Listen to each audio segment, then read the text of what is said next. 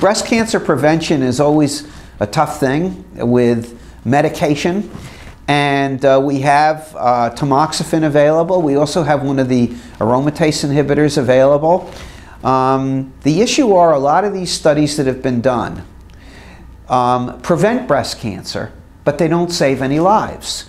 So at the San Antonio meeting, we saw a wonderful follow-up of 20 years of tamoxifen use, but no one lived any longer. So even though we cut down the breast cancer rates, what that study tells us is a lot of the people who developed the breast cancer, the vast majority who weren't benefited by the drug, must have been, or who didn't get the drug, must have been cured um, because a lot of these people are in studies and getting mammography, etc. So I think that the decision to use prevention, one is dependent on your risk, which can be calculated. I'm not talking about women who carry BRCA1 or 2 genes. That's a little different. I'm talking about the average woman in the community um, who, who might be interested in this. So you can calculate your risk on the web through a, a model from the National Cancer Institute um, you can see what your breast cancer risk is five till your next five years till your age 90.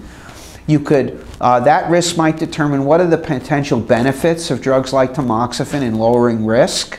I mean, no one wants to get a breast cancer if you can prevent it, but the issue is drugs like tamoxifen have side effects.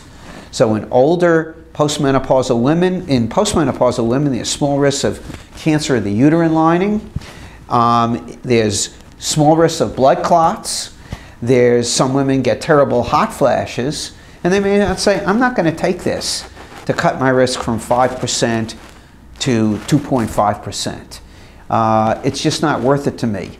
The best value is actually in younger women who have periods, who keep their periods, or older women who have had a hysterectomy where they're not at risk for that cancer. But it's a very tough decision to go over all the pros and cons of essentially uh, prevention with drugs like tamoxifen or raloxifene too in that.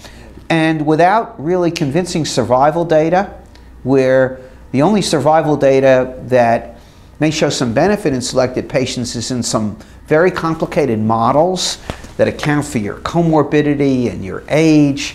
Um, for many women, it may be something that um, is not highly beneficial to them.